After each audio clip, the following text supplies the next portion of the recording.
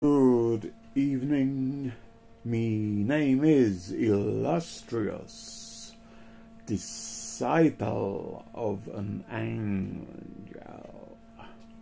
Neil Leslie Gilbert Williams Jackson of you. And this uh, post message is about uh, my experience. I'm not going to say when or where but it is my near death experience uh, and uh, what I felt and witnessed. Uh, today is Tuesday, the 14th day of the month of May, year AD 2024, and the time now is 21:24 hours post meridian.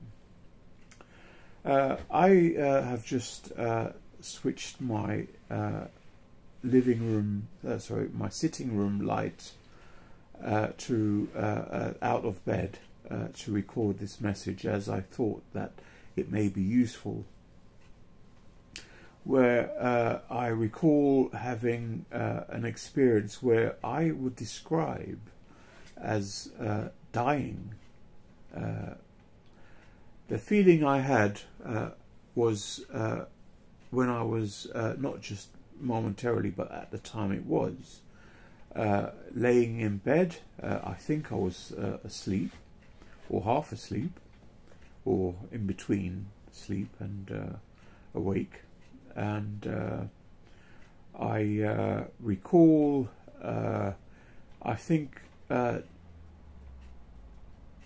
being in dream sort of state and then I recall uh, like uh, the twirling water going down the drain, uh, myself uh, being uh, in the center of the water, but it wasn't water, it was like a black twirling, uh, slow moving, sort of turning where I was slipping out of life, which is what I thought it was.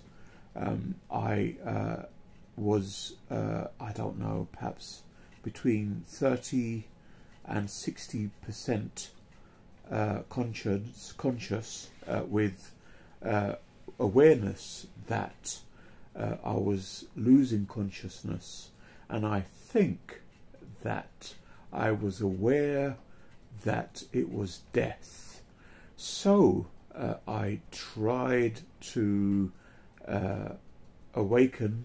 Um, I tried to fight my way out of the slow turning black sort of tunnel of falling into a perished, non existent uh, uh, soul. And uh, of course, I'm still here. Um, I, I beat it. Wishing you all well. Goodbye.